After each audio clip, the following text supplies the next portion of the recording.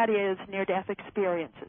Yeah. And from that, I'm able to cover any and all kinds of anomalies and experiences and incidents and brain development and so forth and so on uh-huh. because of my research on the near death experience. My research base is now considered to be either the largest or one of the largest. It's um, nearly 4,000 adult and child experiencers. And it was because of my third near death experience that I became a researcher.